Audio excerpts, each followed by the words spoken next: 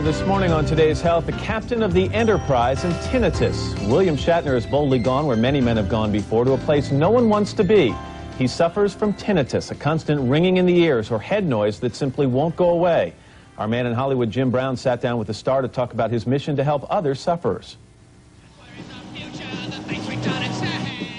It is a humorous moment in Star Trek IV when the Enterprise crew travels back to the 20th century.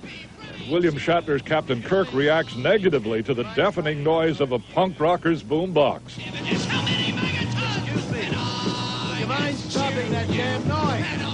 It was 1986. A few years later, it was not so funny when Shatner began hearing noises where there were none. I remember having a surge of um, panic. And that moment of panic, when I realized that I was hearing something inside my head, I wanted to run and escape the sound. And that only increased the panic because there was no place to run. Shatner, a man who spends more time on a horse than he ever did on the bridge of the Enterprise, learned that he, like millions of Americans, suffered from tinnitus due to the permanent destruction of the nerve cells of the inner ear. What do you hear then if, if... I'm hearing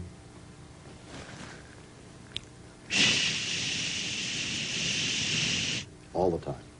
When Shatner revealed his hearing problem to friends like Leonard Nimoy, he found not only a sympathetic ear, but another tinnitus sufferer as well. They compared notes on what may have caused the damage.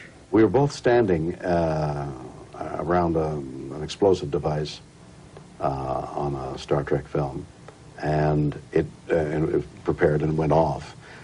And I guess I must have been standing here, because I have it in my left ear, and he has it in his right ear.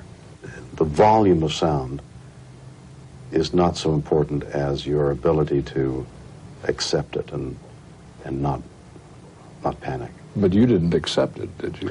Not in the beginning. Uh, I, I thought I would go um, crazy.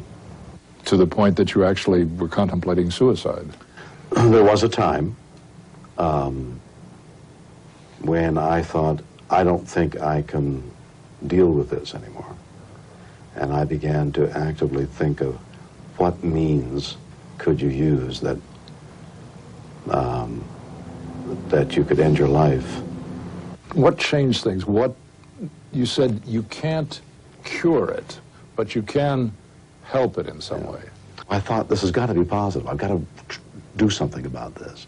And so I went on uh, a journey of trying to do something about it.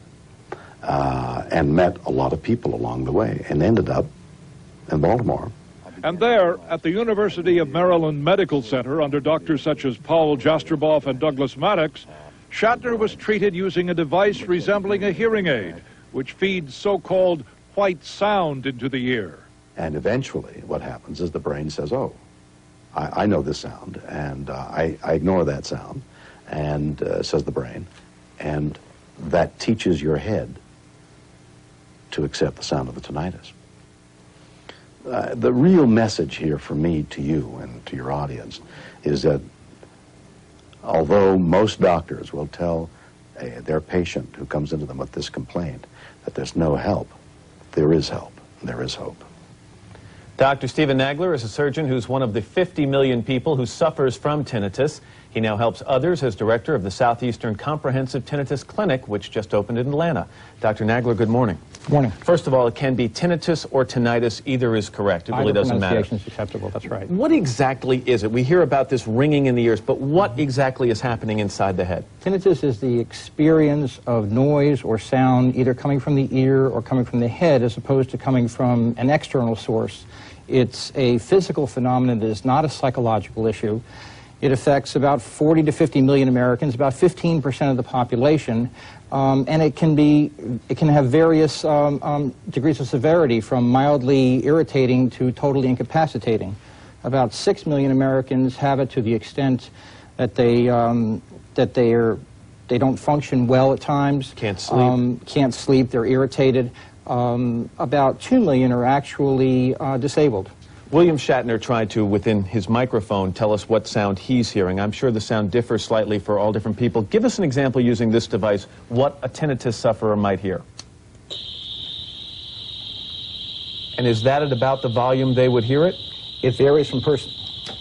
It varies from person to person, but when you hear that sound, what you want to do is either leave the room or put your hands over your ears.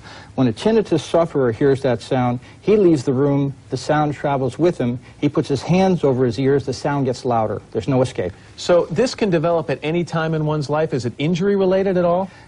It is somewhat related. uh, There, there are several possible causes, but the most uh, common cause is noise-induced tinnitus. What happens is um, a disorder or disarray uh, develops in the cochlea, um, which is right over here, the snail-like structure in the uh, hair cells in the, in the inner ear. And then at some point, and this is Dr. Jastreboff's big contribution, and many people uh, um, believe that at some point the tinnitus signal travels actually into the brain to the limbic system, which sits in here near the medial temporal lobe of the brain. And the limbic system is the seat of various emotions, love, hate, and fear. The limbic system sees the tinnitus as an unwelcome, threatening intruder. It grabs it and it won't let go. William Shatner mentioned that there is help available. You can't cure this. And without getting into specific treatments, what should someone do if they, if he or she feels that he does have tinnitus? Four things, and it's simple. Quickly. The first thing, quickly, the first thing is to find a board-certified ENT doctor or an otologist, an ear doctor, who's interested in tinnitus, so you won't wind up with this story, go home and learn to live with it. We don't need that anymore. Uh, it's inappropriate, unacceptable. The second thing is to join the American Tinnitus Association in Portland, Oregon. Very, very important. You get flooded with information and data. The third thing um, is to protect your auditory system. Tinnitus doesn't cause uh, hearing loss. Hearing loss doesn't cause tinnitus, but as your hearing uh, um, gets worse, tinnitus becomes more apparent. So the two things to do in that regard are to avoid silence. Sound is good for the auditory system, and avoid loud noises. Protect yourself from loud noises. And the fourth thing to do is write to your congressman, we need money, we need money so that I'm out of a job. We need a cure. Dr. All we have is very good treatment, but we don't have a cure. Dr. Stephen Nagler, thanks very much. Thank you. Appreciate it. By the way, if you'd like to know more about tinnitus, you can call the American Tinnitus Association. The number is 1 800 634 8978.